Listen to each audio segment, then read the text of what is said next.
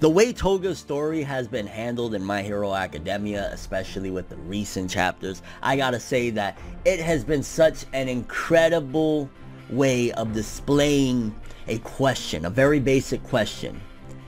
What is normal? Normalcy, and we talked about it in the last review, but my gosh, Toga's character, this arc in general, I will keep on saying it over and over again.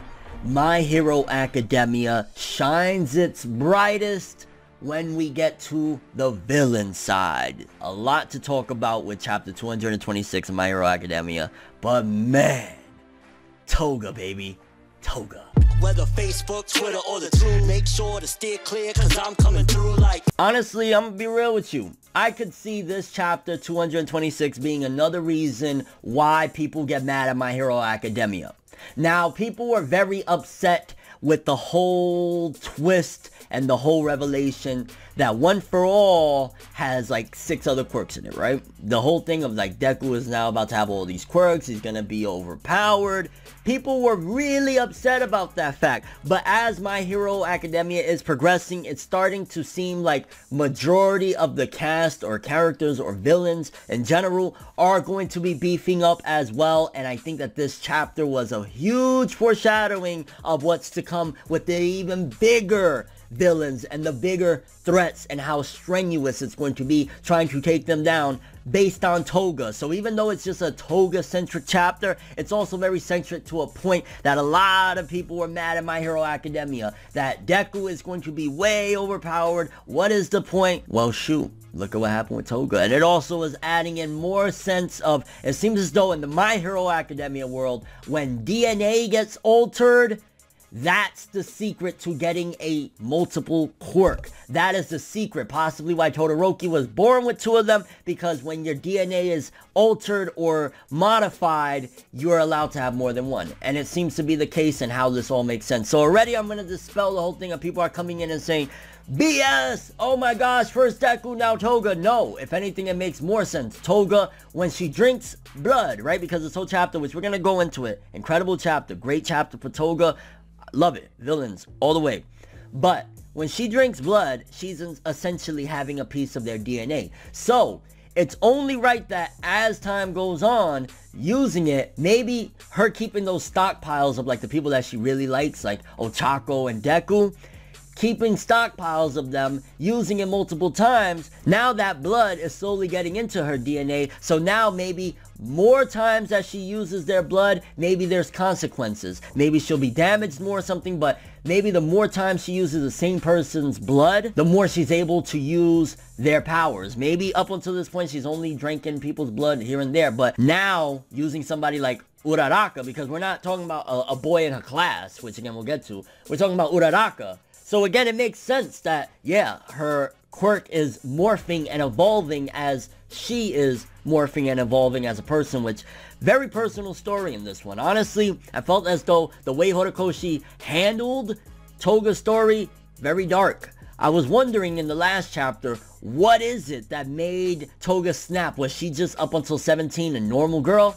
No, it was because she found out early on that she needed to hide her demons. And that was the best way that she had a shot at living a normal life, even though she felt she was normal. Because we see the little instances that her parents basically, they felt like failures. She would come home with like dead birds after drinking their blood. Because in her mind, Toga, again, this is what she finds to be normal. Normalcy is perspective, nothing more, and nothing less. So when Toga would do that, like how she attacks that boy, right? You know, that's the thing that leads her into this life of crime. But when she would attack a bird, a dead bird, and drink their blood, that was her way of like, when you kiss somebody, how you like them. So very powerful message again of normalcy is in the eye of the beholder. And Toga displayed just that, honestly, this chapter. I ain't gonna lie, Horikoshi trolled a lot. He trolled me a lot through this one and in a good way, but still it was a bad way, okay? Because how many times, I don't know if anybody's with me, how many times did y'all think Toga was dead? How many times did y'all think that that reporter, I'm not even calling her, I don't know what her name is, I don't care what her name is, that reporter biatch How many times do you think that she killed our Toga, bro? I was so a couple of times like I thought she mashed her head in. I thought like I was like no, no, not Toga. And then when she was turning into Uraraka, it was breaking my heart. Like honestly, if this was in a Seinen magazine, Toga would have died.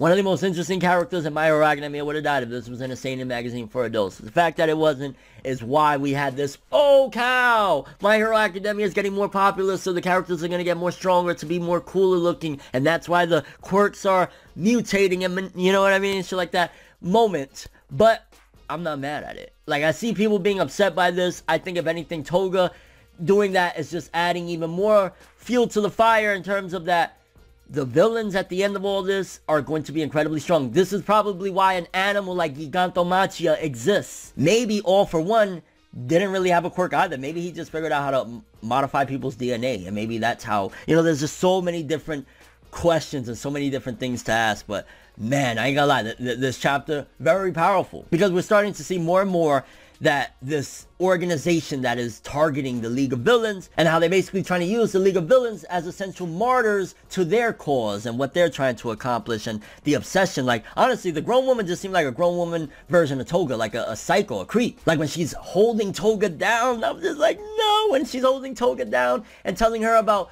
uh, going to quirk counseling and it seems as though Toga tried a lot. It seems as though her parents really tried hard with her and when she stabbed that boy and drank his blood and left, was when they, they finally said, yo, we can't do nothing no more. You know what I'm saying? So it seems as though they tried quirk counseling. Maybe that lady did it as well. Maybe this is just two different paths. If you look at it, this reporter woman because she's so messed up. I mean, you see how fascinated she is with Toga's life and everything. That reporter woman is just simply an older version of, hey, what if Toga hid her demons very well to make it to that point? That's how I feel, honestly. But man, getting back to, again, the thing that is heating everyone up. Toga, as she's there down, we thought she was killed a million times. She's basically struggling, clinging onto her way of life, fighting back. And then finally, not only does she turn into Uraraka or Ochako, then she also uses her gravity power and lifts up the reporter woman.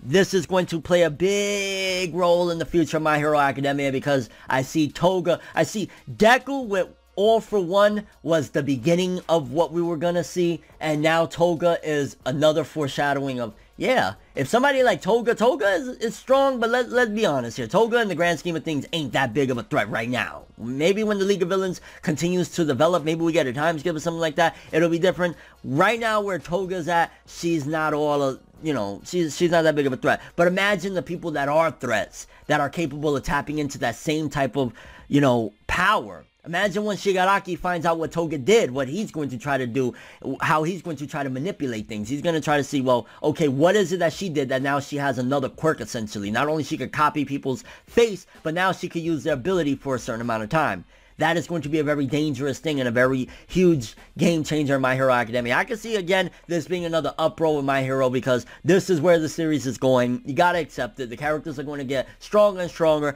I'm glad that it's not just Deku. I'd rather, if they're going to give it to a bunch of people or whatever, then at least it makes more sense that Deku needs to get this strong. And a lot of the other people around him need to get strong as well. And we're going to see that. I think we're going to see once it gets out there of how Toga was able to manipulate and get that second quirk essentially, or that second ability, that's how we're going to start seeing it spreading. And it's going to be a real crazy war and why Deku needs to get stronger, why everyone in the team needs to get stronger. So when they do become uh, real heroes at some given point. I would love a My Hero Academia spinoff, I'm just saying. But man, this chapter overall, desperate struggle for Toga. Honestly, the backstory, seeing her childhood, seeing uh, her, her growing up and basically how she had to hide the secret and she couldn't hide it no more. And it kind of makes you question, is there really a world for somebody like that? Somebody like Toga, that she just, that's her way of being normal. She doesn't feel like she's sad. She feels like she's living a normal life. It's a very interesting question. Overall, the chapter, honestly, though, crazy because I see it's going to once again split the My Hero Academia fandom. I feel as though the Class A versus Class B arc, and I might talk about it again in a whole other video,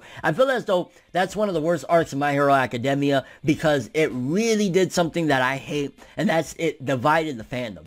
From here on out, My Hero Academia fandom is divided. There's people that they're just always going to be upset when things like what happened with Deku in that arc and what happened with Toga in this chapter. When those things happen, I can see that that side of the fandom is going to come in and destroy it, and then the other side of the fandom is going to come in and protect it. Naruto went through a, a phase like this, and it seems as though whenever you start off a basic story and you don't have all of these extra cool things as the world develops and as stories demand more different things, this is what happens. My Hero Academia started off with a very cool basic concept. People have superpowers. They usually only have one, occasionally have two. But when you want to build it up to be even grander and you got to make it go longer, My Hero Academia probably would have ended a long time ago. But it's right now one of the cash cows that jump. They're not going to let it in. So you're going to have more things like this. But I'm not mad at it. I think it makes sense for Toga to have an extra ability because that's getting into her DNA. And if DNA morphing is what gave, you know, one for all and all for one the ability to do all these things, it would make sense for Toga. Now, everybody shouldn't be able to tap into multiple quirks. But there should be a way. And this is going to break in some interesting theories and the future for My Hero. Honestly, it's starting to look more and more like once we had that chapter and that arc where Deku started to show that he was going to have more than one quirk, the story itself changed completely, and Toga's another example, but man, I'm mad at it because it was a freaking awesome chapter. I would say that this was a solid 7.5 to an 8 even an 8, I would say Toga just ran this chapter. It was great. I, I, I, just was so mad. Like, no, don't kill her. Ah, don't kill her. But it was freaking incredible. Kind of curious what you guys think about this, though, for starters. What do you think about the whole thing of now Toga's quirk morphed just like Deku? Do you think that's going to be par for the course with the remainder of My Hero Academia? Shigaraki's going to undergo it at some given point. Is that why people like Gigantomachia is so strong and people like One for All? Also, what do you think about Toga's struggle? Honestly, this chapter was freaking crazy. Like, the war against the League of Villains started off already very strong with one of the weaker players. I can imagine when we get to the bigger ones, it's going to be freaking insane. And your thoughts and expectations, My Hero Academia 226. I'm just glad they didn't kill Toga, okay? I'm just glad despite the hate that my hero is about to get because again another evolving quirk don't kill my Toga, okay? Toga is Bay. But that's all I have for this one. Thanks for watching. Hope you enjoyed. If you liked anything I had to say or enjoyed the video, drop me a like. I'd greatly appreciate it. And if you want more from me, make sure to subscribe. Follow me on Twitter, Instagram. Hit the bell to get all notifications. Please hit that bell. Uh, YouTube don't really send out notifications unless you hit the bell and you get, like, you got to double tap it. So I'd appreciate it. And if you want to follow any of my social media, links, of course, in the description below. I'm ForneverWorld. And as always, people, have an awesome day. And remember the golden rule. Anime and manga for life, boy. Bow. Have an awesome day. Can't forget the music though. Hold on, let me play y'all a little something. Everything good always comes to an end. If you stab me in my back, we can never make amends. Trying to move to acceptance, hard to accept it. Mistakes like mirrors, gotta reflect it. I don't wanna fucking leave, but I gotta leave. Leave the maybes to the crazies. Maybe one day we, there I go admitting something in a subtle way. No more copies, leave without a trace.